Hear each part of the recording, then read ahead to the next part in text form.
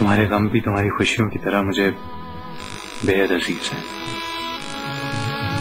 और जैसे तुम्हारे आँसू हैं, मुझसे देखे नहीं जाते। उन्हें मत बहाया था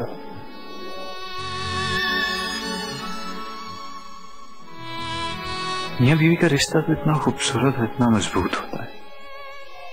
मुझे तो यकीन नहीं आता कि असद भाई इस हद तक भी जा सकते हैं। Really can't believe it.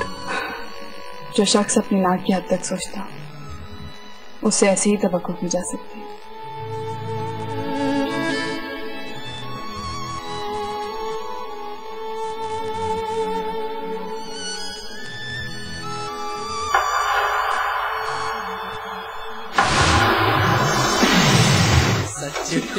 मेरी तमन्ना है मेरी आरज़ू। मेरी आरज़ू है? खुशियाँ। बाज़ार में सस्ते दामों बिकने वाली है बस। बस। इसके आगे एक लफ्ज मत बोलिएगा भाई। मुझे ये समझ नहीं आती कि हम असद भाई और सदर को घर से कैसे निकाल सकते तो भाईजन को आज से पहले